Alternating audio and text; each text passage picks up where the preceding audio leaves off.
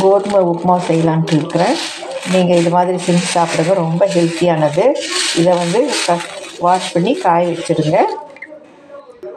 அடுப்பில் ஒரு வானொலி வச்சுருக்கேன். இதை லைட்டாக வறுத்துக்கலாம்.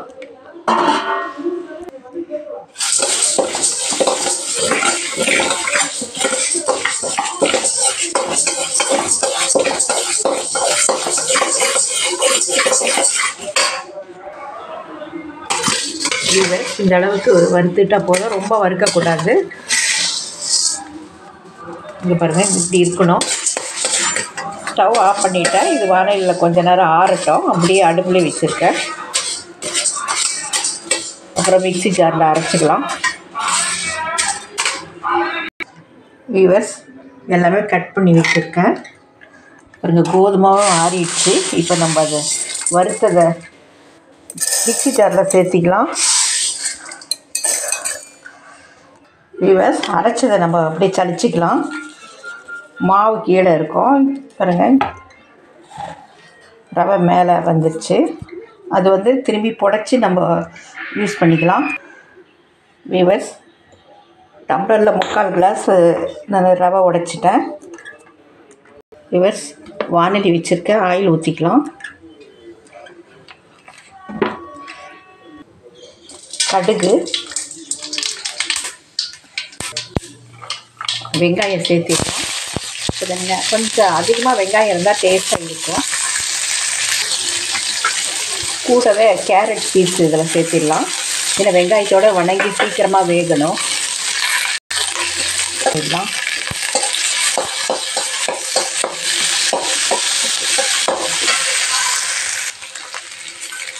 வரமிளகா பச்சை மிளகா ஒரு மூணு.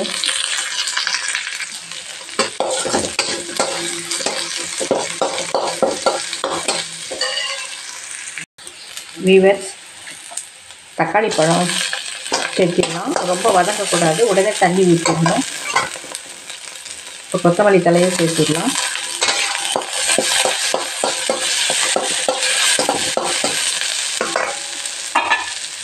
வீவர்ஸ் ஒரு கிளாஸ் கோதுமை ரவைக்கு நாலு கிளாஸ் தண்ணி ஊற்றுங்க பக்கத்தில் ஒரு கிளாஸ் கொதிக்க வச்சுட்ருங்க பத்தலைன்னா அந்த கிளாஸை ஆட் பண்ணிக்கோங்க. நான் நாலு கிளாஸ் தண்ணி இப்போ ஊற்றுறேன் ஒன்றுக்கு நாலு. முக்கால் போட்டிருந்தேன். இருந்தாலும் அது ஒரு கால் இது குறைச்சி நான் நாலு பங்காக ஊற்றிருக்கேன்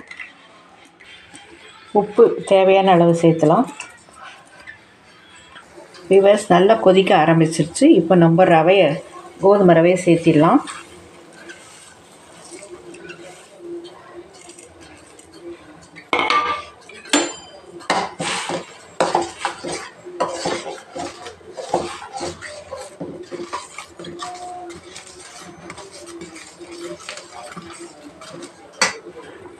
கொதிக்கட்டும். கொஞ்ச நேரம் மூடி வைக்கலாம்.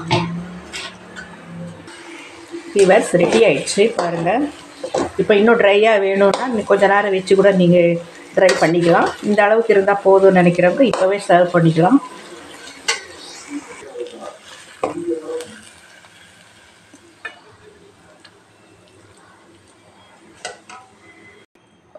கோதுமை ரவை உப்புமா ரெடி ஆயிடுச்சு.